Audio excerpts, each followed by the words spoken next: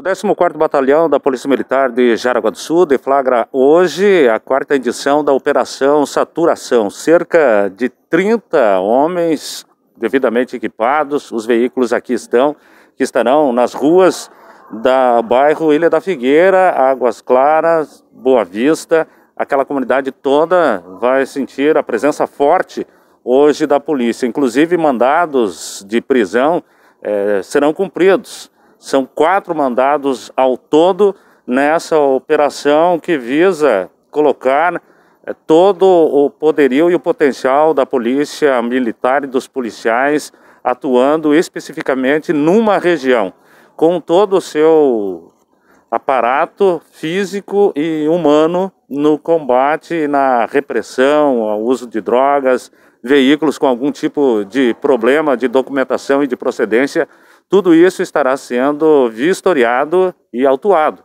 se houver alguma irregularidade. Daqui a pouco eles estarão nas ruas lá dos bairros Águas Claras, Boa Vista e Ilha da Figueira. Repórter Jaraguá Sérgio Luiz, Jornalismo Jaraguá. A gente faz para você.